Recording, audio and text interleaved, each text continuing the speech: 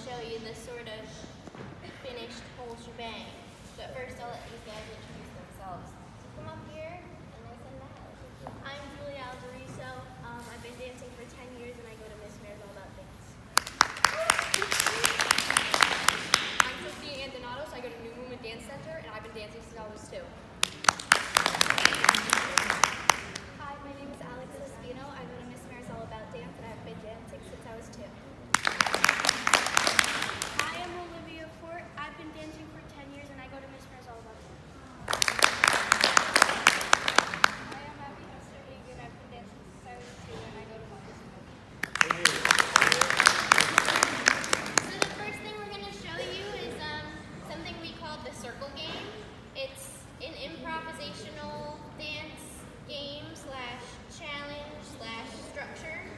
Um, so basically we have one dancer in the center that's sort of like the soloist that's improvising, making up their own movement. You can go ahead, Alex, whenever you're ready. And the rest of us on the outside are responsible for staying with her and sort of being her container and giving her something to live in.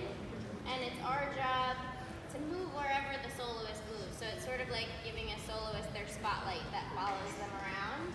Um, and depending on who's in the middle, they may challenge their outside people and really push them to change direction quickly, or they may hold them in a certain place for a long time. The soloist is sort of the driver of the car.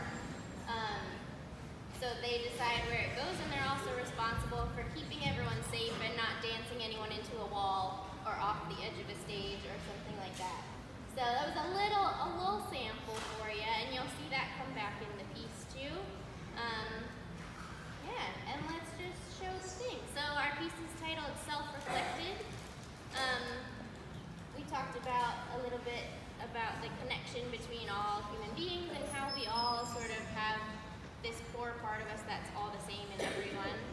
Um, and so that's sort of the little, the little idea that this grew from for me. So you guys can go places.